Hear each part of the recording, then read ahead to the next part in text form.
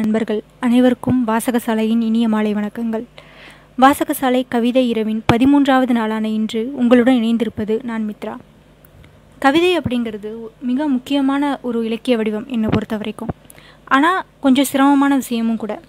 ஒரு இலக்கியம் வந்து எப்போ முழுமையடையும் எப்போ தன்னோட மகத்துவத்தை முழுசாக அடையும் அப்படின்னா அது சமூக அவலங்களை வந்து பதிவு செய்ய தொடங்கும் போது தான் அப்படிங்கிறது என்னோட கருத்து.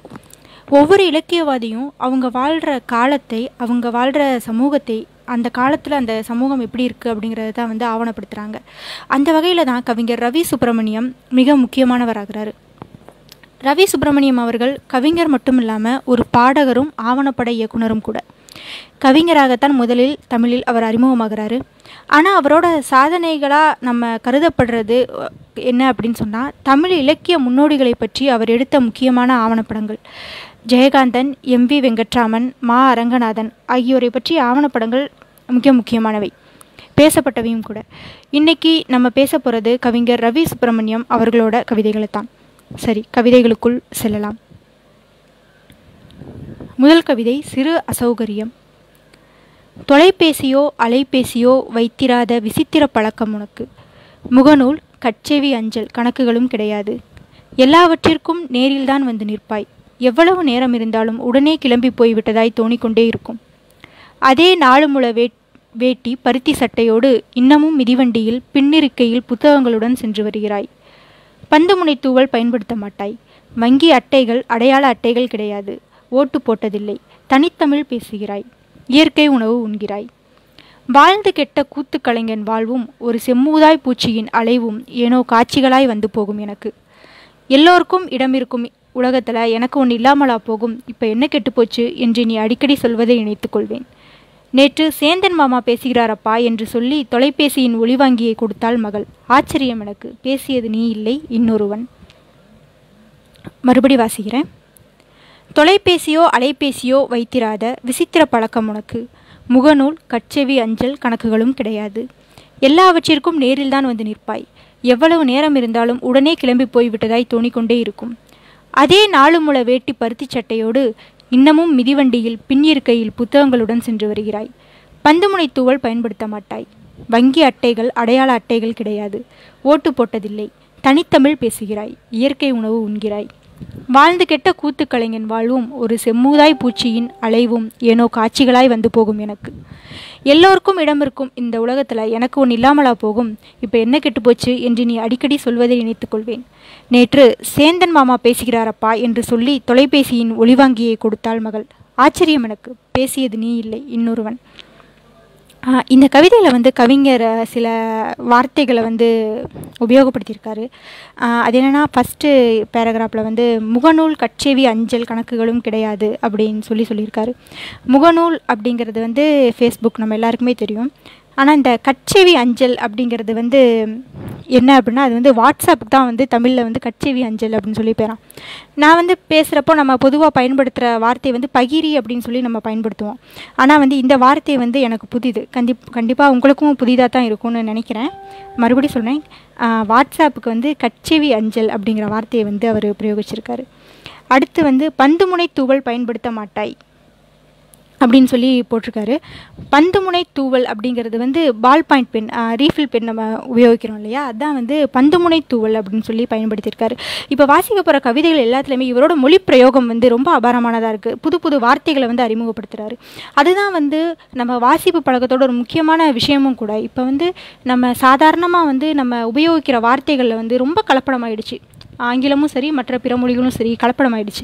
இந்த மாதிரி ஒரு புது வார்த்தைகளை பார்க்கும்போதே வந்து நமக்கு ஒரு சந்தோஷம் பிறக்குது. நம்ம வந்து அதுக்குண்டான தேடலை வந்து நம்ம தொடங்குறோம். அப்படின்னா என்ன அப்படின்னு சொல்லி தேட ஆரம்பிக்கிறோம். அப்போ தேட ஆரம்பிக்கிறப்ப வந்து ஒரு அது ஒரு நல்ல முன்னெடுப்பு. இதைத்தான் வந்து ஒரு இலக்கியம் செய்யும் செய்ய வேண்டிய விஷயம் அப்படின்னு சொல்லி நான் பார்க்குறேன். சரி இந்த கவிதையை பொறுத்த வரைக்கும் ஒரு தொழில்நுட்ப வாசம் இல்லாமல் வாழ்கிற ஒரு மனிதரை பற்றின ஒரு கவிதையாக அது இருக்குது இப்படி இருந்தால் ரொம்ப நல்லா தான் இருக்கும்ல அப்படின்னு சொல்லி எனக்கு தோணுச்சு. ஏன்னா இந்த என்னதான் வந்து தூரங்களை வந்து ரொம்ப பக்கமாயிருச்சு தொழில்நுட்ப வளர்ச்சி வந்து உலகம் வந்து சுருங்கிருச்சு அப்படின்லாம் சொன்னாலும் கூட பெரிய உலகத்தை சுருக்கிட்டு ப அருகில் அருகில் இருக்க மனிதர்களை வந்து என்னாச்சுன்னா ரொம்ப தொலைவுபடுத்திருச்சு அப்படின்னு சொல்லி தான் நான் நினைக்கிறேன். என்ன அப்படின்னா தினமும் வந்து நம்ம நண்பர்களை வந்து நம்ம சந்திக்க முடியறதில்ல. சந்திக்க முடியறதில்ல அப்படிங்கிறத விட நமக்கு சந்திக்க தோன்றதே கிடையாது. ஏன்னா நமக்கு கட்சேவி அஞ்சல் இருக்குது முகநூல் இருக்குது அப்படின்னு சொல்லிட்டு நம்ம விட்டுறோம். கடிதங்களுக்கான காத்திருப்புகள் கிடையாது. நம்ம கைவசம் வந்து நம்ம நண்பர்கள் எழுதின குடும்பத்தார் எழுதின கடிதங்களோட கையிருப்பு கிடையாது அப்பப்போ எடுத்து படித்து பார்த்துக்கிறதுக்காக. அப்புறம் வந்து அந்த ஒரு தேநீர் சந்திப்புகளோ ஒரு வந்து இல்லை ஒரு ஒன்றா இதாக வெளியே போயிட்டு வர்றதோ அதெல்லாம் வந்து எதுவுமே இல்லாமல் போயிட்டுருக்கு இந்த காலத்தில். எல்லாமே வந்து வீடியோ கால்லையும் கால்லையும் அந்த மாதிரியே முடிஞ்சிடுது அதான் வந்து அழகாக வந்து கடைசியில் சொல்லியிருக்காரு. அவர் வந்து ஃபோனில் கால் பண்ணி கொடுத்த உடனே வந்துட்டு அது நீ இல்லை இன்னொருவன் அப்படின்னு சொல்லி சொல்கிறாரு அந்த நீ வந்து அப்போ இல்லை ஃபோன் பண்ண உடனே நீ வேற ஒருவன் ஆயிட்ட அப்படின்னு சொல்லி சொல்கிறாரு ரொம்ப அருமையான கவிதை இது. அடுத்த ரெண்டாவது கவிதை வந்து மூழ்கல் அப்படின்னு சொல்லிட்டு ஒரு கவிதை. கருவறைக்கு எதிரே சம்மணமிட்டு அமர்ந்து சுயம் மறந்து கண்ணீர் கசிந்து கொண்டிருக்கிறாள் வெட்கம் விட்டு உடை உடைந்தள முடியாமல். மூடிய கண்களும் கூப்பிய கைகளுமாக எதையோ இறைஞ்சி முணுமுணுக்கின்றன உதடுகள். சகலத்தையும் மறந்து அவள் லயித்த பிரார்த்தனையில் சற்று நேரம் உலகமே இருள கடவுளுமே கொஞ்ச நேரம் தத்தளித்துத்தான் போனார். மறுபடியும் வசிக்கிறேன். கருவறைக்கு எதிரே சம்மணமிட்டு அமர்ந்து சுயம் மறந்து கண்ணீர் கசிந்து கொண்டிருக்கிறாள். வெட்கம் விட்டு உடைந்தள முடியாமல். மூடிய கண்களும் கூப்பிய கைகளுமாக எதையோ இறைஞ்சி முணுமுணுக்கின்றன உதடுகள். சகலத்தையும் மறந்து அவள் லயித்த பிரார்த்தனையில் சற்று நேரம் உலகமே இருள கடவுளும் கொஞ்ச நேரம் தத்தளித்துத்தான் போனார். இது வந்து எப்படி சொல்கிறது நிறைய பேரை வந்து நம்ம கோயிலுக்கு போனோம் அப்படின்னு சொன்னால் நிறைய பெண்களை வந்து இந்த மாதிரி நம்ம பார்க்க முடியும். அவங்க சாமி கும்பிட்டுக்கிட்டு இருப்பாங்க. ஆனால் வந்து அனிச்சையாக வந்து அவங்க கண்ணில் வந்து கண்ணீர் விழுந்துக்கிட்டே இருக்கும். அவங்களுக்கு என்ன அவ்வளோ பிரச்சனை? என்ன அவங்களுக்கு அவ்வளோ கவலை இருக்கும் அப்படின்னு சொல்லிட்டு நம்ம யோசிப்போம். ஆனால் அங்கே பிரச்சனை என்ன அப்படின்னு சொன்னால் அவங்க பேசுகிறத அவங்க பிரச்சனையை காது கொடுத்து கேட்க ஒருத்தர் இல்லை அப்படின்னு சொல்கிறது தான் வந்து அவங்களோட பிரச்சனை அப்படின்னு சொல்லி தான் நான் நினப்பேன். ஏன்னா நம்ம நம்ம நம்ம எதுக்கு கடவுளை தேடி போகிறோம் கோயிலுக்கு போகிறோம் அப்படின்னு சொன்னால் நம்மளோட பிரச்சனைகள் சொன்னால் அவர் உடனே நமக்கு வந்து ஆசீர்வதிப்பார். நீ நினைக்கிறதெல்லாம் நடக்கட்டும் அப்படின்னு சொல்லுவார். அப்படின்லாம் வந்து அர்த்தம் கிடையாது. நம்ம வந்து மனசை விட்டு நம்ம மனசில் என்ன இருக்கும் அப்படின்றத நினைக்கிறது கூட வந்து ஒரு சுதந்திர சுதந்திரம் தேவைப்படுது. அந்த ஒரு சுதந்திரத்தை தான் வந்து அவங்க கொடுக்குறாங்க. இப்போ எல்லாருக்குமே நம்ம என்ன தான் வந்து சம்பாதிச்சாலும் வெளியே சந்தோஷமாக காட்டிக்கிட்டாலும் நமக்கு இருக்கிற ஒரே ஒரு பிரச்சனைனா நமக்கு பேச மனது விட்டு பேசுகிறது வந்து வேறு. மனதை விட்டு பேசுறதுக்கு ஒளிவு மறைவு இல்லாமல் பேசுறதுக்கு ஒருத்தர் தேவை. நம்ம பேசுறதை கேட்கறதுக்கு ரெண்டு காது தேவை. அதுதான் வந்து எல்லாரோட அத்தியாவசிய தேவையாகவும் இருக்குது அதை தான் வந்து இந்த கவிதை படிக்கும்போது எனக்கு தோணுச்சு. அடுத்த கவிதை வந்து சேமிப்பு அப்படிங்கிற தலைப்பில் அடுத்த கவிதை. ஆண்டுகள் கடந்து வெளிநாட்டிலிருந்து வந்தவன் ஊருக்கு செல்லும் முதல் நாள் மகளுக்கு துணிவாங்க அழைத்து வருகிறான். செல்லமாய் தலைவருடி. உடைமாற்றும் அறை சென்று ஒவ்வொன்றாய் அணிந்து வந்து வெளிச்சமாய் பளிரிடுகிறாள். இரண்டு கைகளாலும் கவுனை இடம் வளமாய் இழுத்து காட்டி சிரிக்கிறாள். சிப்பந்திகள் வியக்க. நளினமாய் சுடிதாரில் வந்து நிற்பதை கழுத்தைக்கு பார்க்கிறது அருகிருக்கும் பொம்மை. அவனுக்கு பெயர் தெரியா நவீன உடையொன்றில் வர மின்சாரம் விக்கித்து ஜெனரேட்டர் இயங்கியது தற்செயல்தான். நட்பாட்டிடை வரும் தேர்ந்த இசைத்துணுக்காய் வந்து போகிறாள் ஒவ்வொன்றிலும். கடைசியில் பட்டுப்புடவை சட்டை நன்றாய் இருக்குதென சொல்கையில் சட்டென மகிழ்ச்சியில் எகிரி குதித்து கைதட்ட காண கிடைக்கா அற்புத கணத்தை பகிர்ந்து கொண்டான். படக்கருவி ஏதுமின்றி. மறுமுறை திரும்பும் மறுமுறை திரும்பும் வரைக்குமான நிஜ காட்சியாய். மறுபடி வாசிக்கிறேன். ஆண்டுகள் கடந்து வெளிநாட்டிலிருந்து வந்தவன் ஊருக்குச் செல்லும் முதல் நாள் மகளுக்கு துணி வாங்க அழைத்து வருகிறான் செல்லமாய் தலைவருடி. உடைமாற்றும் அறை சென்று ஒவ்வொன்றாய் அணிந்து வந்து வெளிச்சமாய் பளிரிடுகிறாள். ரெண்டு கைகளாலும் கவுனை இடம் வளமாய் இழுத்து காட்டி சிரிக்கிறாள் சிப்பந்திகள் வியக்க. நளினமாய் சுடிதாரில் வந்து நிற்பதை கழுத்தைக்கு பார்க்கிறது அருகிருக்கும் பொம்மை. அவனுக்கு பெயர் தெரியா நவீன உடையொன்றில் வர மின்சாரம் விக்கித்து ஜெனரேட்டர் இயங்கியது தற்செயல்தான். நற்பாட்டிடை வரும் தேர்ந்த இசைத்துணுக்காய் வந்து போகிறாள் ஒவ்வொன்றிலும். கடைசியில் பட்டுப்புடவை சட்டை நன்றாயிருக்குதென சொல்கையில் சட்டென மகிழ்ச்சியில் எகிரி குதித்து கைத கைத்தட்ட காண கிடைக்கா அற்புத கணத்தை பகிர்ந்து கொண்டான். படக்கருவி ஏதுமின்றி. மறுமுறை திரும்பும் வரைக்குமான நிஜ காட்சியாய் ரொம்ப அழகான கவிதை. இந்த கவிதையில் எனக்கு ரொம்ப பிடிச்ச வரிகளே வந்து இந்த நற்பாட்டிடை வரும் தேர்ந்த இசைத்துணுக்காய் வந்து போகிறாள் ஒவ்வொன்றிலும். இதுதான். எவ்வளோ ஒரு அருமையான ஓமை இல்லை இது. ஒரு நல்ல பாட்டு இடையில வர்ற ஒரு இசையாக வந்து இசை துணுக்காக வந்து வந்து போகிறா ஒவ்வொன்றுலையும் அப்படின்னு சொல்லி சொல்லியிருக்காங்க.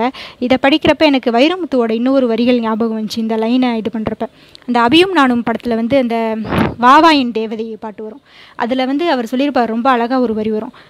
என் பிள்ளை எட்டு வைத்த அடியைப் போல எந்த இலக்கண கவிதையும் நடந்ததில்லை அப்படின்னு சொல்லி சொல்லுவார். வைரமுத்து மேலே மிகப்பெரிய ஒரு ஆச்சரியத்தை ஏற்படுத்தின வரிகளில் வந்து அந்த வரையும் ஒன்று யார் வந்து ஒரு குழந்தை நடக்கிறத வந்து ஒரு இலக்கண நடையோடு வந்து ஊமை ஊமைப்படுத்துவாங்க? அந்த மாதிரி தான் இதுவும். நட்பாட்டிடே வரும் தேர்ந்த இசைத்துணுக்காய் வந்து போகிறாள் ஒவ்வொன்றிலும். இது வந்து இந்த வெளிநாட்டில் போயிட்டு வேலை செய்கிற குடும்பங்களுக்கே உரித்தான ஒரு சோக இலை இது. எப்படின்னா நல்லா நல்லா ஒரு ஒரு வெல்த்தியான ஃபேமிலியாக இருப்பாங்க. மீன்ஸ் ஒரு நல்ல பணத்தட்டுப்பாடு இல்லாத ஒரு குடும்பமாக இருப்பாங்க. நல்லா இருப்பாங்க. பார்க்குறதுக்கு வெளியே பகட்டாக தெரிவாங்க. ஆனால் அவங்க நம்ம கண்களை பார்த்தோன்னா எப்பயுமே அவங்க கண்களில் வந்து ஒரு சே சோக இலையோடிக்கிட்டே இருக்கும். பெரியவங்கலேருந்து சின்னவங்க வர அத்தனை பேருக்குமே. அந்த பிரிவோட தாக்கம் வந்து அது. திரைக்கடல் ஓடியும் திரவியம் தேடு அப்படின்னு சொல்லி சொன்னாங்க. ஆனால் வந்து திரவியம் மட்டுமே வந்து வாழ்க்கைக்கான அர்த்தம் இல்லை. அதையும் தாண்டி உறவுகள் பாசம் நேசம்ங்கிற நிறைய விஷயம் இருக்குது பணத்துக்கு பின்னாடி ஓடாமல் நம்ம வந்து முதல்ல வந்து நம்ம நேசத்துக்கும் குடும்பத்துக்கும் வந்து முக்கியத்துவம் தரணும் அப்படின்னு சொல்லி இந்த கவிதையை படிக்கிறப்ப எனக்கு தோணுச்சு. அடுத்த கவிதை வந்து பழக்கம். எத்தனையோ முறை முயன்று பார்த்தேன். இறுக்கமாக முகத்தை திருப்பி கொண்டுதான் போனேன். பூஞ்சையான என் பக்கத்தை தொட்டு அப்படி என்ன ஒரு இது உனக்கு? என்று ஒரு நாள் மறித்து இழுத்து விட்டது. வாழ்வில் சில கணங்கள் உங்கள் கைகளிலிருந்து நழுவுவதை பார்த்திருக்கிறீர்களா? பார்த்திருப்பீர்கள். அப்படித்தான் அதன் பின்னால் இப்போது செல்லப்பிராணியாய் போய்க் கொண்டிருக்கிறேன் வழியில் எங்கேனும் என்னை கண்டால் தயவு செய்து பார்க்காதது போல் போய்விடுங்கள். நான் இல்லை அது. மறுபடியும் வாசிக்கிறேன். எத்தனையோ முறை முயன்று பா எத்தனையோ முறை முயன்று பார்த்தேன். இறுக்கமாக முகத்தை திருப்பிக் கொண்டுதான் போனேன். பூஞ்சையான என் பக்கத்தை தொட்டு அப்படியென்ன ஒரு இது உனக்கு? என்று ஒரு நாள் மறித்து இழுத்து விட்டது வாழ்வில் சில கணங்கள் உங்கள் கைகளிலிருந்து நழுவுவதை பார்த்திருக்கிறீர்களா? பார்த்திருப்பீர்கள். அப்படித்தான் அதன் பின்னால் இப்போது செல்லப்பிராணியாய் போய்க் கொண்டிருக்கிறேன். வழியில் எங்கேனும் என்னை கண்டால் தயவு செய்து பார்க்காதது போல் போய்விடுங்கள். நான் இல்லை அது. இது ஒரு இது ஒரு ரொம்ப நல்ல கவிதை இது. இறங்கின எனக்கு இது வந்து பர்சனலாக வந்து எனக்கு இதாச்சு. ரிலேட் பண்ண முடிஞ்சிச்சு இந்த கவிதையை. நான் வந்து எப்போவுமே என்ன நினைப்பேன் அப்படின்னா எந்த ஒரு பழக்கமாக இருந்தாலும் அதன் மேலே வந்து நம்ம தான் ஆளுமை செலுத்தணும். அது மேலே ஆளு ஆளுமை செலுத்துறது வந்து நம்மளாக தான் இருக்கணும். அந்த பழக்கம் வந்து நம்ம மேலே வந்து நம்மளை ஆளக்கூடாது அப்படின்னு சொல்லி நினப்பேன் நான். அப்படி தான் வந்து ஏதோ ஒரு பழக்கத்துக்கு அடிமையானவர் குறித்த ஒரு கவிதை வந்து இது. அது நல்ல பழக்கமா தீய பழக்கமா அப்படின்னு சொல்லி இதில் குறிப்பிடலை. அதனால் நல்ல பழக்கம் வந்து நம்மளை அடிமைப்படுத்துமா? நல்ல பழக்கம் வந்து நம்ம ஆளுமா அப்படின்னு சொன்னால் ஆளும். ஏன்னா வந்து இப்போ நம்ம ஒருத்தருக்கு வந்து உதவி செஞ்சு பார்த்தோம் அப்படின்னு சொன்னால் வந்து அதோட இது வந்து நமக்கு தெரியும். ஒருத்தருக்கு உதவி செஞ்சு இது அவர் எதிர்பாராக்க எதிர்பாராதப்ப ஒரு உதவி செஞ்சு இல்லைன்னா அவருக்கு ஒரு பரிசு கொடுத்து அந்த முகத்தில் வர்ற ஒரு சந்தோஷத்தை வந்து நம்ம பார்த்துட்டோம்னு வைங்களேன் அது வந்து மரண போதை அது. அதிலிருந்து நம்மளால் மீண்டு வரவே முடியாது. நம்மக்கிட்ட வந்து செய்கிறதுக்கு காசு இல்லை அப்படின்னா கூட அடுத்தவங்கள்ட்ட கடன் வாங்கி கூட அடுத்தவங்களை சந்தோஷப்படுத்த பார்ப்போம். நமக்கு தேவை வந்து அந்த சந்தோஷம் மட்டும்தான். போதைங்கிறது பழக்கம் அப்படிங்கிறது வந்து அதுதான். அது ஒன்றே வந்துட்டு சரக்கடிச்சா தான் தம் அடிச்சா தான் போதை அப்படிங்கிறதெல்லாம் கிடையாது. இந்த மாதிரி நிறைய விஷயங்கள் நல்ல நல்ல விஷயங்களில் கூட ஒரு போதை இருக்குது அதை அப்படி கூட நம்ம எடுத்துக்கலாம். எப்படி வேணாலும் எடுத்துக்கலாம். அதான ஒரு கவிதை அப்படிங்கிறது நம்ம எப்படி தோணுதோ அதை எப்படி அப்படி வேணாலும் எடுத்துக்கலாம். அடுத்த கவிதை இந்த மலைக்கு என்ன அர்த்தம்? ரொம்ப அருமையான கவிதை இது. எனக்கு ரொம்ப மனசுக்கு நெருக்கமான கவிதை இது. வாசிக்கிறேன் கேளுங்க. இறுதி இறுதி ஊர்வலத்தில் செல்கையில் அணுக்க நண்பனோடு உளவிய வசந்த காலத்தின் உரையாடல்கள் மெலிதாய் கேட்கின்றன. இறுதி ஊர்வலத்தில் செல்கையில் அணுக்க நண்பனோடு உளவிய வசந்த காலத்தின் உரையாடல்கள் மெலிதாய் கேட்கின்றன. நான் அவனுக்கு தந்ததெல்லாம் ஒரு மிடறு அன்பை தவிர ஏதுமில்லை. தோல்விகளற்றது அவன் வாழ்வு. அப்படி கொண்டதில்லை அவன். எப்போதும் காணா இந்த பாவ முகத்தை பார்க்கையில் அவனால் நிறைந்த நற்கணங்கள் விம்மி நிழலாடுகின்றன. யாரும் செய்ய ஒப்புக்கொள்ளாத ஒன்றைச் செய்து இடரொன்றிலிருந்து காப்பாற்றி என் கருப்பு நாளொன்றின் நிறம் மாற்றினான். நினைவு மடிப்புகள் அவிழ அவிழ எதிலும் பதுங்கிக் கொள்ள முடியாமல் துக்கமே வியாபித்து படர்கிறது. சற்று முன்னால் நடந்து கண்ணீரோடு கொல்லிச்சட்டி தூக்கி வரும் அவன் சாயல் கொண்ட மகனின் பாரத்தை கொஞ்சம் கைமாற்றிக் கொள்கிறேன். மீட்டெடுக்க முடியா நாட்களின் கனத்தால் நடக்க முடியாமல் கெஞ்சுகின்றன கால்கள். ஊர்வலத்தோடு வரும் சிறுவர்கள் பாடைக்கு முன்னும் பின்னுமாய் எரியும் பூப்பந்து தலையில் மோதி சிதறுகிறது. என்னை நானே தண்டித்து கொண்டிருக்கும் காலத்தில் நேச இருப்பால் இதம் செய்தவனும் அருகில்லாதது எத்தனை துர்பாக்கியம் சேகண்டிக்கும் சங்குலிக்கும் மத்தியில் பனி வெயில் நாளின் பின் மாலையில் ஒளியை வடிகட்டி மனச்சலனத்தை நனைத்தபடி சன்னமாய் பெய்யும் இந்த மழை உனக்காகத்தானா? கடைசி காலத்தில் உன்னிடம் மன்னிப்பு கேட்டு ஒரு வார்த்தை பேசாத வாதை அறுக்க நெஞ்சு பொசுக்கும் எரியூட்டும் ஜுவாலையை காண தெம்பில்லாது கூட்டத்திலிருந்து விலகி எதிர் திசையில் திரும்பிக் கொண்டிருக்கிறேன். மழை லேசாக வழுக்க ஆரம்பிக்க. மறுபடி வாசிக்கிறேன். இறுதி ஊர்வலத்தில் செல்கையில் அணுக்க நண்பனோடு உளவிய வசந்த காலத்தின் உரையாடல்கள் மெலிதாய் கேட்கின்றன. நான் அவனுக்கு தந்ததெல்லாம் ஒரு மிடறு அன்பை தவிர ஏதுமில்லை. தோல்விகளற்றது அவன் வாழ்வு அப்படி கொண்டதில்லை அவன். எப்போதும் காணா இந்த பா இந்த பாவ முகத்தை பார்க்கையில் அவனால் நிறைந்த நற்கணங்கள் விம்மி நிழலாடுகின்றன. யாரும் செய்ய ஒப்புக்கொள்ளாத ஒன்றை செய்து இடரொன்றிலிருந்து காப்பாற்றி என் கருப்பு நாளொன்றின் நிறம் மாற்றினான். நினைவு மடிப்புகள் அவிழ அவிழ எதிலும் பதுங்கிக் கொள்ள முடியாமல் துக்கமே வியாபித்து படர்கிறது. சற்று முன்னால் நடந்து கண்ணீரோடு கொல்லிச்சட்டி தூக்கி வரும் அவன் சாயல் கொண்ட மகனின் பாரத்தை கொஞ்சம் கைமாற்றிக் கொள்கிறேன். மீட்டெடுக்க முடியா? நாட்களின் கனத்தால் நடக்க முடியாமல் கெஞ்சுகின்றன கால்கள். ஊர்வலத்தோடு வரும் சிறுவர்கள் பாடைக்கு முன்னும் பின்னுமாய் எரியும் பூப்பந்து தலையில் மோதி சிதறுகிறது. என்னை நானே தண்டித்து கொண்டிருக்கும் காலத்தில் நேச இருப்பால் இதம் செய்தவனும் அருகில்லாதது எத்தனை துர்பாக்கியம்? சேகண்டிக்கும் சங்கொலிக்கும் மத்தியில் பன்னி ப பனிவெயில் நாளின் பின்மாலையில் ஒளியை வடிகட்டி மனச்சலனத்தை நனைத்தபடி சன்னமாய் பெய்யும் இந்த மழை உனக்காகத்தானா? கடைசி காலத்தில் உன்னிடம் மன்னிப்பு கேட்டு ஒரு வார்த்தை பேசாத வாதை அறுக்க நெஞ்சு பொசுக்கும் எரியூட்டும் ஜுவாலையை காண தெம்பில்லாது கூட்டத்திலிருந்து விலகி எதிர்த்திசையில் திரும்பிக் கொண்டிருக்கிறேன். மழை லேசாக வழுக்க ஆரம்பிக்க. கண்டிப்பாக அந்த கவிதையை படிக்கிறப்போ இல்லை நான் படிக்க நீங்கள் கேட்குறப்போ உங்களுக்கு வந்து உங்கள் நண்பர்களோட ஞாபகம் வந்து கண்டிப்பாக வரும். ஏன்னா வந்து நம்ம வாழ்க்கை வந்து நம்மளே நம்மளையே அறியாமல் நமக்கே தெரியாமல் நம் மொத கவிதையில் பார்த்தோம் இல்லையா நம்மளை மீறி கை நழுவி போகிறது அப்படின்னு சொல்லி அந்த மாதிரி ஏதோ ஒரு திசையில் வந்து நம்மளை புரட்டி போட்டுருது. அப்போ வந்து ஏதோ ஒரு கணத்தில் ஏதோ ஒரு ஒரு இடரில் நம்மளுக்கு கை தூக்கி விட்ட கைப்பிடிச்சு கூட இருந்த நண்பர்களை வந்து நமக்கே தெரியாமல் நம்ம அவங்கள்ட்ட இருந்து ரொம்ப தூரமாக வந்துடுறோம்.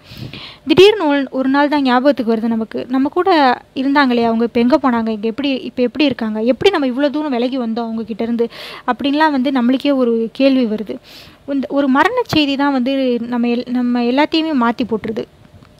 யாரோ ஒரு மரணமாக இருக்கலாம். யாரோ யாருடைய அப்பாவோட மரணமாகவோ இருக்கலாம். யாருடைய நண்பனோட மரணமாகவோ இருக்கலாம்.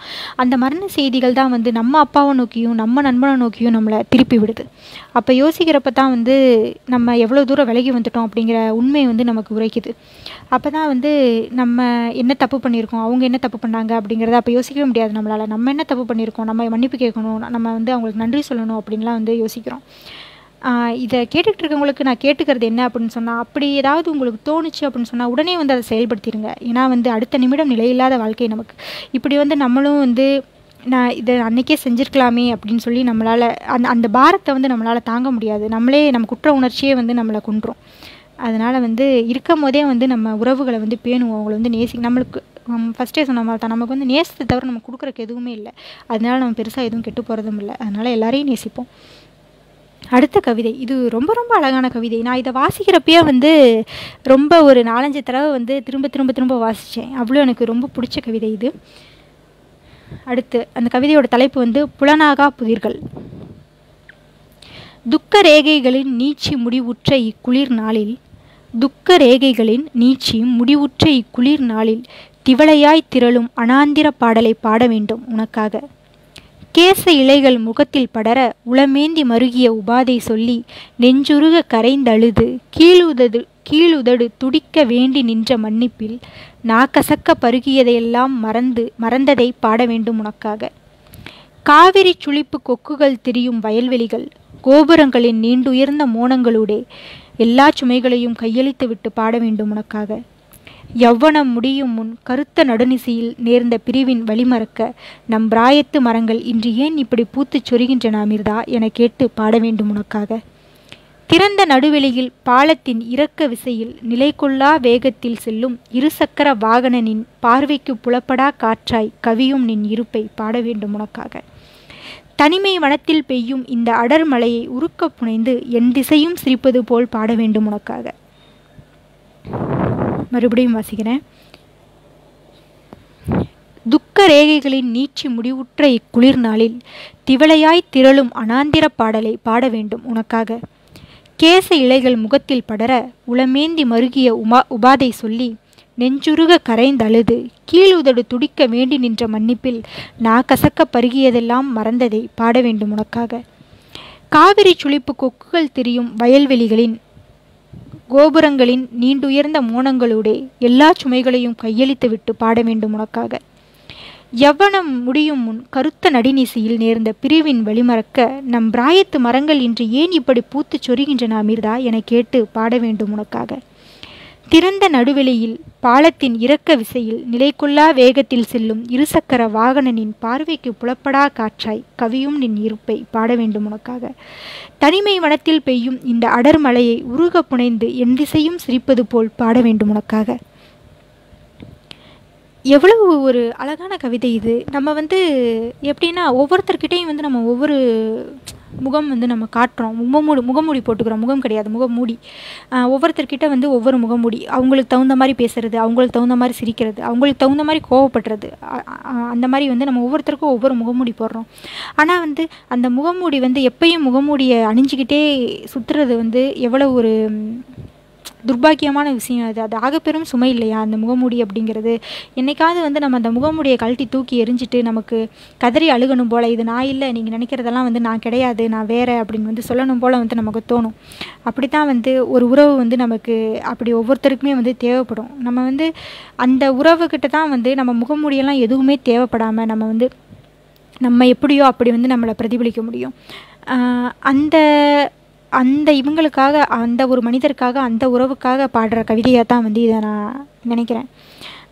இந்த கவிதையிலேயே வந்து எனக்கு ரொம்ப பிடிச்சது திரும்பி நான் ரொம்ப வியந்தது திருப்பி திருப்பி நான் படிக்கிறதுக்கு காரணமே வந்து இந்த வரிகள் தான். அதை படிக்கிறேன் கேளுங்க.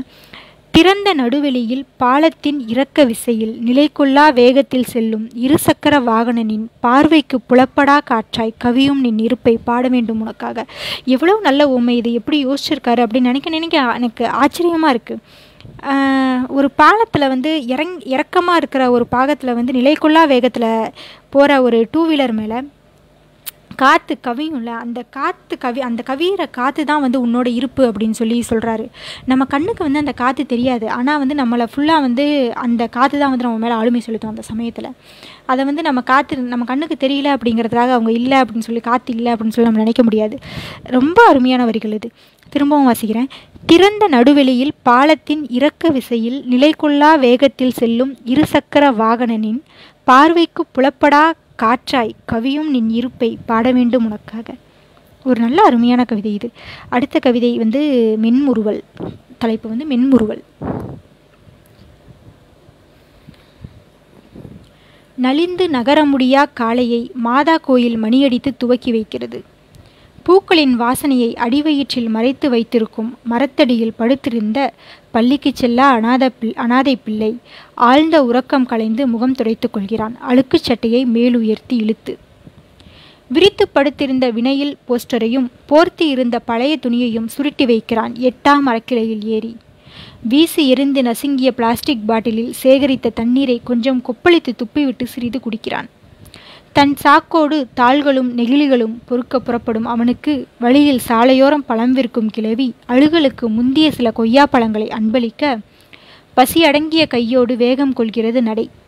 விசும்பலில் துடித்த வாழ்வை ஊசி கம்பு கொண்டு குத்தி குத்தி எடுத்து சாக்கில் போட்டுக்கொள்கிறான் இருசக்கர வண்டியின் பின்னால் அமர்ந்து சென்ற போலீஸ்காரன் போகும் வேகத்தில் அவன் கெண்டைக்காலில் காரணம் ஏதுமின்றி சுளீரென்று பிரம்பால் அடித்துப் போகிறான் சிரித்தபடி.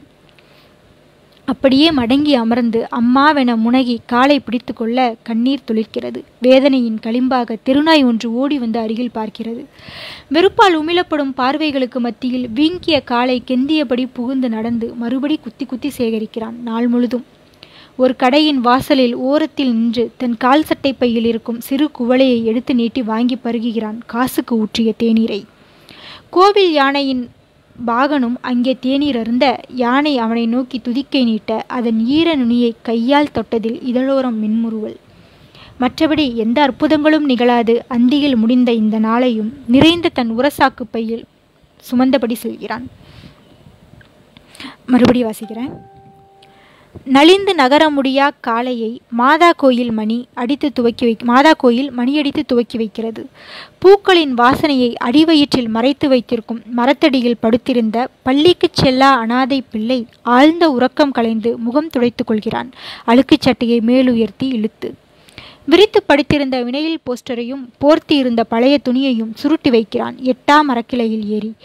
வீசி எரிந்து வீசி எரிந்து நசுங்கிய பிளாஸ்டிக் பாட்டிலில் சேகரித்த தண்ணீரை கொஞ்சம் கொப்பளித்து துப்பிவிட்டு சிறிது குடிக்கிறான்.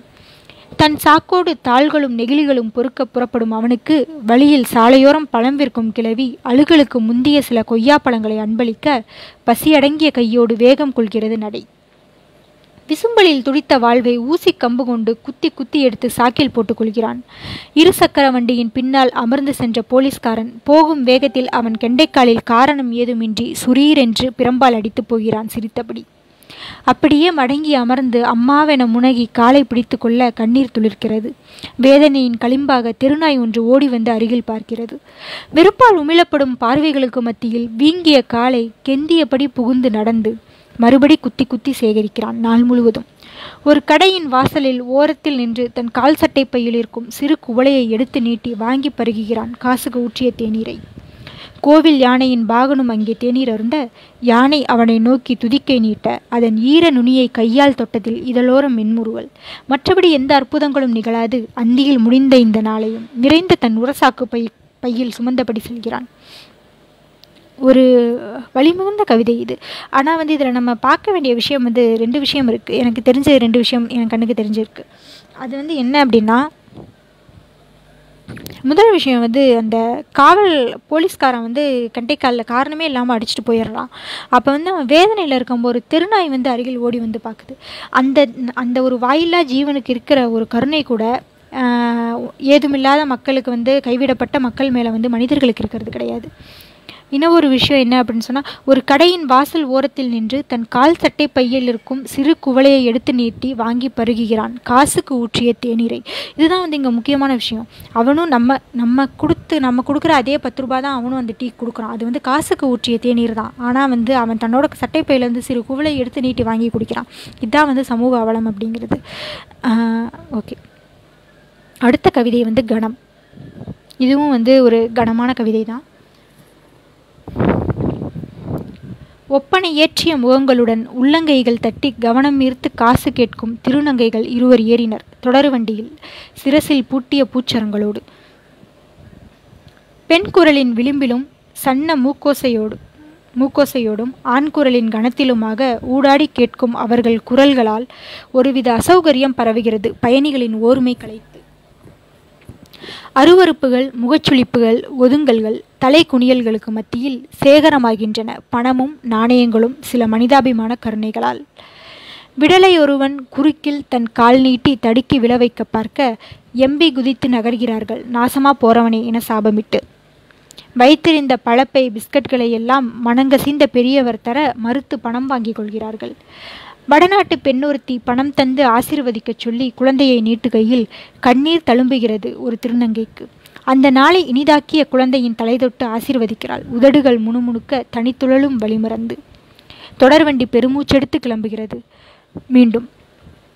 டி. டீயுடன் வந்த காவலன் ஏன் இதில் ஏறினீங்க? என பிரம்பால் அடிக்க ஓ என்று அலறுவோரை வாயில் அடித்து விரட்டி வாசல் பக்கத்து கழுவும் தொட்டியோரம் கீழே தள்ளி வேக வேகமாய் மிதிக்கின்றான் தன் பூட்ஸு காலால் நாய்களா பணத்தை எடுங்கடி இல்லை ரிமாண்டு தான் என மிரட்ட பீதியும் பதைப்புமாய் இறந்து பெற்ற சொற்ப பணத்தையும் அவனுக்கு தருகிறார்கள் நடுக்கமுறை தொடர்வண்டி நீண்டு வளைந்து குலுங்கிச் செல்ல வா வாசலில் புகைப்பிடித்தபடி நிற்கிறான் விதிகளை மீறி. கடத்த முடியா? துயரத்தை பார்த்தபடி நானும் ஒருவனாய் ஒருவனாய் திரும்புகிறேன் கழிப்பறைக்கு சென்றுவிட்டு. மறுபடி வாசிக்கிறேன். ஒப்படை ஏற்றிய முகங்களுடன் உள்ளங்கைகள் தட்டி கவனம் ஈர்த்து காசு கேட்கும் திருநங்கைகள் இருவர் ஏறினர் தொடர் வண்டியில் சிரசில் சூடிய பூச்சரங்களோடு. பெண் குரலின் விளிம்பிலும் சன்ன மூக்கோசையோடும் ஆண் குரலின் கணத்திலுமாக ஊடாடி கேட்கும் அவர்கள் குரல்களால் ஒருவித அசௌகரியம் பரவுகிறது பயணிகளின் ஓர்மை கலைத்து அருவறுப்புகள் முகச்சுளிப்புகள் ஒதுங்கல்கள் தனை தலை குனியல்களுக்கு மத்தியில் சேகரமாகின்றன பணமும் நாணயங்களும் சில மனிதாபமான கருணைகளால்.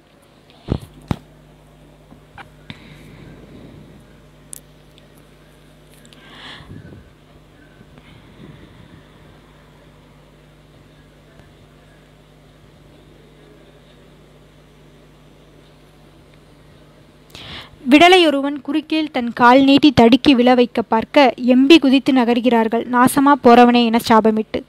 வைத்திருந்த பழப்பை பிஸ்கட்டுகளை எல்லாம் மனங்கசிந்த பெரியவர் தர மறுத்து பணம் வாங்கிக் கொள்கிறார்கள்.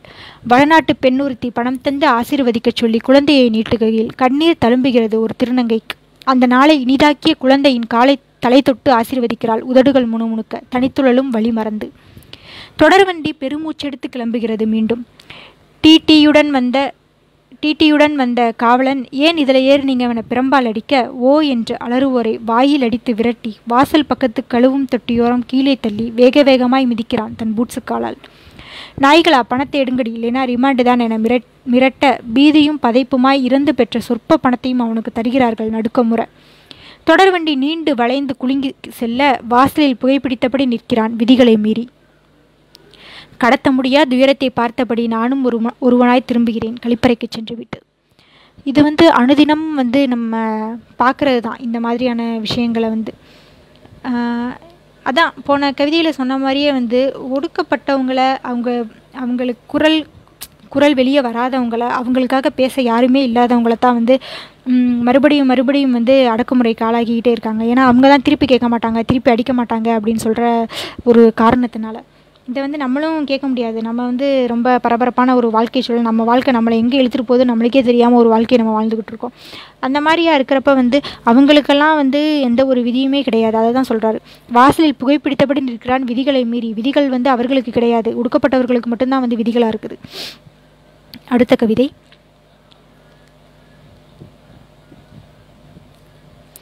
இது வந்து எழுத்தாளர் பிரபஞ்சன் நினைவாக வந்து கவிஞர் எழுதியிருக்காரு. திரும்புதல் அப்படின்னு சொல்லி கவிதையோட தலைப்பு.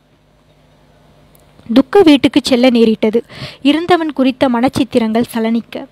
நிலை கொள்ளாமல் அழத் துடித்து கொண்டிருக்கும் தருணத்தில் அதை துவக்கி வைக்கிறாள் மூதாட்டி ஒருத்தி பெருங்குரலின் ஒப்பாரியில். தள்ளிவிடுகிறான் அங்கு சீருடையில் நிற்கும் சிறுவன் பால்யத்துக்குள். நாவில் சுவைக்கிறது குச்சி ஐசும் கொடுக்காப்புளையும் விளையாடி கழித்த நாகலிங்க மரங்களின் கடும் வாசம் ஈர்க்கிறது. வலிக்கின்றன தமிழையாவின் சுள்ளென்ற பிரம்படிகள். வாழசைத்து வருகிறது இருவருக்கும் செல்லமான ஜிம்மி. சிலுவை பிடித்தபடி ஆசீர்வதிக்கிறார். நடுங்கும் கரங்களால் ஜோசப் ஃபாதர். ஆனந்த இனிப்பாகிறது கள்ளமில்லா தோழிகளின் நன்மை. வாசலுக்கும் கொள்ளைக்கும் நண்பன் வீட்டுக்குமாக ஓடி ஓடி மூச்சிறைத்து தடுமாற நினைவு கண்ணி அறுபடுகிறது. பகிர இருந்தவனையும் பறிகொடுத்த பதைப்பில். அதே பருவத்தில் அங்கேயே கொண்டு போய் விட்டுவிடுங்கள் என தேம்ப ஞாபகங்களில் கண்ணீர் பெருகுகிறது கண்ணீர். மறுபடி வாசிக்கிறேன். துக்க வீட்டுக்கு செல்ல நேரிட்டது. இருந்தவன் குறித்த மனச்சித்திரங்கள் சலனிக்க. நிலை கொள்ளாமல் அழத் துடித்து கொண்டிருக்கும் தருணத்தில் அதை துவக்கி வைக்கிறாள் மூதாட்டி ஒருத்தி பெருங்குரலின் ஒப்பாரியில். தள்ளிவிடுகிறான் அங்கு சீருடையில் நிற்கும் சிறுவன் பால்யத்துக்குள். நாவில் சுவைக்கிறது குச்சி ஐசும் கொடுக்காப்புளியும். விளையாடி கழித்த நாகலிங்க மரங்களின் கடும் வாசம் ஈர்க்கிறது. வலிக்கின்றன தமிழையாவின் சுள்ளென்ற பிரம்படிகள். வாழ சேர்த்து வருகிறது இருவருக்கும் செல்லமான ஜிம்மி. சிலுவையை பிடித்தபடி ஆசீர்வதிக்கிறார் நடுங்கும் கரங்களால் ஜோசப் ஃபாதர். ஆனந்தை நிப்பாகிறது கள்ளமில்லா தோழிகளின் அண்மை. வாசலுக்கும் கொள்ளைக்கும் நண்பனின் வீட்டுக்குமாக ஓடி ஓடி மூச்சிறைத்து தடுமாற நினைவு கண்ணி அறுபடுகிறது. பகிர இருந்தவனையும் பறிகொடுத்த பதைப்பில்.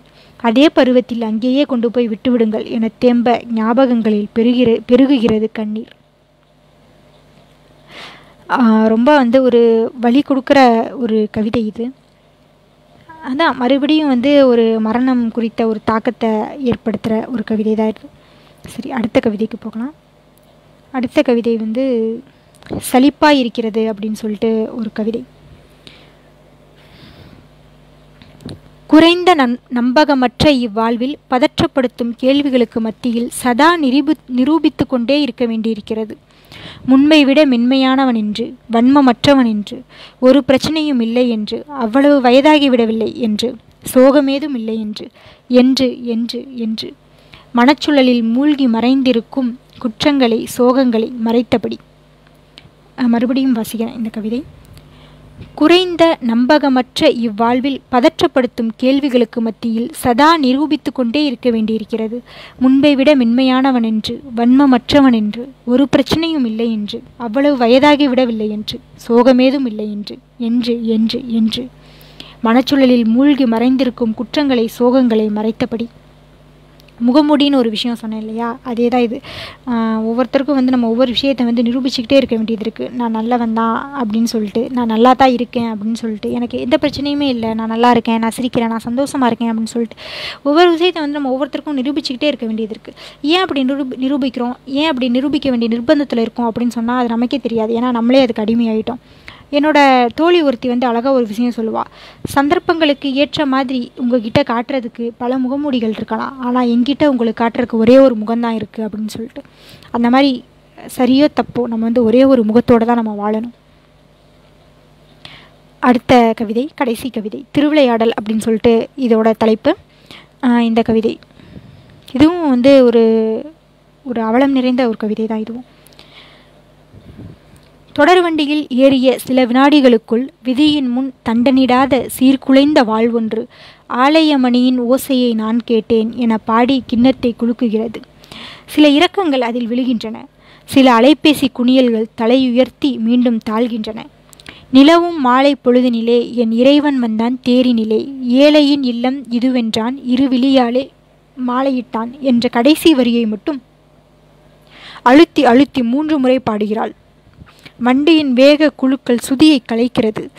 அவ்வளவு எவ்வளவு கூட்டத்திலும் அசூசை கொள்ப அசூசை கொள்பவர்கள் மத்தியிலும் கைக்குச்சியால் துளாவி இயல்பாய் நடக்க முடிகிறது அவளால். நிறுத்தங்களின் பொழுது மனக்கணக்கில் சமன் செய்து நிற்கிறாள். கணவான் ஒருவர் நூறு ரூபாய் போட்டார். தடவி பார்த்ததும் பிரகாசத்தோடு வந்த திசை அறியாத ஒரு கும்பிடு கும்பிடு போட்டாள். இன்றைய விளையாட்டை இத்துடன் முடித்து கொண்ட கடவுள் அடுத்த நிறுத்தத்தில் இறங்கி நடந்தார். மறுபடி வாசிக்கிறேன் கேளுங்க. தொடர்வண்டியில் ஏறிய சில வினாடிகளுக்குள் விதியின் முன் விதியின் முன் தண்டனிடாத சீர்குலைந்த வாழ்வொன்று ஆலயமணியின் ஓசையை நான் கேட்டேன் என பாடி கிண்ணத்தை குலுக்குகிறது. சில இரக்கங்கள் அதில் விழுகின்றன. சில அலைபேசி குனியல்கள் தலையுயர்த்தி மீண்டும் தாழ்கின்றன. நிலவும் மாலை பொழுதினிலே என் இறைவன் வந்தான் தேரினிலே. ஏழையின் இல்லம் இதுவென்றான் இரு விழியாலே மாலையிட்டான் என்ற கடைசி வரியை மட்டும் அழுத்தி அழுத்தி மூன்று முறை பாடுகிறாள். வண்டியின் வேக குழுக்கள் சுதியை கலைக்கிறது. எவ்வளவு கூட்டத்திலும் அசூசை கொள்பவர்கள் மத்தியிலும் கை கைக்குச்சியால் துளாவி இயல்பாய் நடக்க முடிகிறது அவளால். நிறுத்தங்களின் பொழுது மனக்கணக்கில் சமன் செய்து நிற்கிறாள். கனவான் ஒருவர் நூறு ரூபாய் போட்டார். தடவி பார்த்ததும் பிரகாசத்தோடு வந்த திசையறியாத ஒரு கும்பிடு போட்டாள். இன்றைய விளையாட்டை இத்துடன் முடித்து கொண்ட கடவுள் அடுத்த நிறுத்தத்தில் இறங்கி நடந்தார். அவ்வளவு அழகான கவிதை இது அவ்வளோ வழி நிறைந்த கவிதை இது. பார்வை இழந்தவர்கள் வந்து நம்மக்கிட்ட காசு கேட்பாங்க இல்லையா? அந்த இதை வந்து கவிதையாக்கியிருக்காங்க. ஆனால் வந்து எனக்கு தெரிஞ்சு நான் பார்வை இழந்தவங்க வந்து பிச்சையாக எதுவுமே இல்லாமல் யாசகமாக தானமாக அந்த மாதிரி வந்து அவங்க கேட்கவே மாட்டாங்க. அவங்கக்கிட்ட நான் ரொம்ப எனக்கு பிடிச்ச விஷயமே வந்து அதுதான் அவங்க இன்னும் ஏதாவது விற்பாங்க ஏதாவது சின்ன விஷயமா இருக்கலாம் பேனாவாக இருக்கலாம் பென்சிலாக இருக்கலாம் ஊக்கா கூட இருக்கலாம் வந்து விற்பாங்க விற்றுட்டு வந்து நம்மக்கிட்ட அதை விற்பாங்க இன்னொரு விஷயம் இதில் சொல்கிற மாதிரி அவங்க பாட்டு பாடுவாங்க. அவங்க வந்து எந்த ஒரு உழைப்புமே இல்லாமல் வந்து அவங்க நம்மக்கிட்ட காசு கேட்கவே மாட்டாங்க. பாட்டு பாடி அதன் மூலமாக தான் அவங்க வந்து காசு கேட்பாங்க. அதுவும் ஒரு உழைப்பு தானே. ஓகே. அந்த மாதிரி ஒரு இது ஒரு அழகான கவிதை. இவ்வளோ நேரம் வந்து கவிஞர் ரவி சுப்பிரமணியம் கவிதைகளோட எங்களுடன் இணைந்திருந்த அனைவருக்கும் நன்றிகள்.